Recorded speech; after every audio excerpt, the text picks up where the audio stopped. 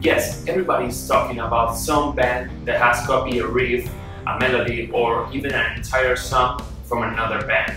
And first of all, if I am a respectful band, I wouldn't dare to even or to think about releasing a song that has been copied from another band. Nowadays, more than ever, with social media, everybody will know and notice that this song was copied from another band. Every single year, more than 1 million songs are released. Do you think it's possible to take all the music released in the entire music history and not finding two songs that are similar between them? I don't think so. We want to talk about Led Zeppelin's most famous song, Stairway to Heaven in this case. It's been said that Led Zeppelin has copied this song for Spirit's song Taurus.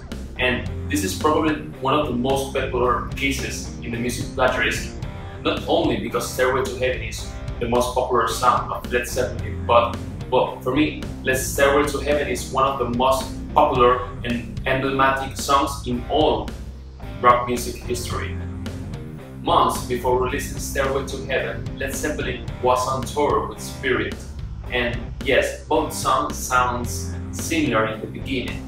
And these two facts are what people said that Led Zeppelin stole the song from Spirit. What I think is that there are two kinds of inspiration. The conscious inspiration is that you learn how to play guitar and you have your favorite artist, for example, John Petrucci. It's normal that your songs and your riffs sound similar to what John does. And the second type of inspiration is subconscious inspiration. This is what I think it happened in Led Zeppelin's case. I think that Jimmy Page was barely conscious while, while touring with Spirit. And when he was recording Stairway to Heaven, he said something like, Oh, that melody sounds familiar to me. And that's it.